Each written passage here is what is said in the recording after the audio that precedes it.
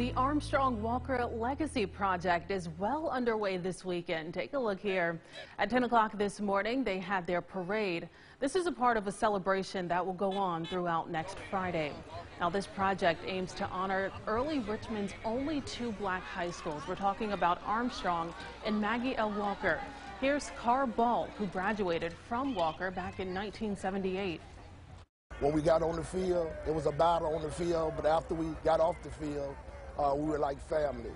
Um, so we wanted to rekindle the Armstrong Walker Classic, and we hope that it will, you know, get bigger and better each year. We want the black community to come out and, and experience what we used to experience uh, 40 years ago. Definitely a big event and a special event for those alum. The parade ended at Armstrong High School for a tailgate.